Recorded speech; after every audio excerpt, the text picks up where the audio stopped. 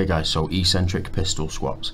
A unilateral exercise that forms the foundation for being able to build up to a full pistol squat. But it is great, even in the beginning stages, to throw this exercise in as it does help develop unilateral stability and gain an understanding of how each limb works independently within the squatting motion.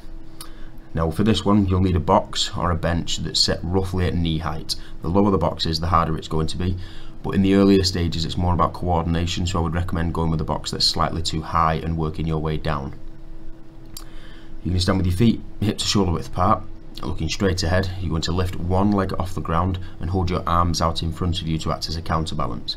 From here you're going to break at the hips so sit your bum back slightly keeping the weight through your heel on your supported leg and then you're going to focus on squatting down on the supported leg keeping the free leg up nice and high as straight as possible. This just allows you both hips to stay roughly at a similar height helps your abs stay switched on and it just helps you control stabilization of the movement.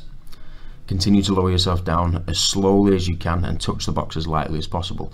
Now when you first go down due to coordination issues and the muscles being unfamiliar with the exercise, chances are you might fall when you reach the bottom position onto the box. That's completely normal to begin with. The goal is to build up enough tension and enough joint position awareness to be able to lower yourself down under control before progressing on to a lower box. Make sure you repeat for the desired number of reps on both sides.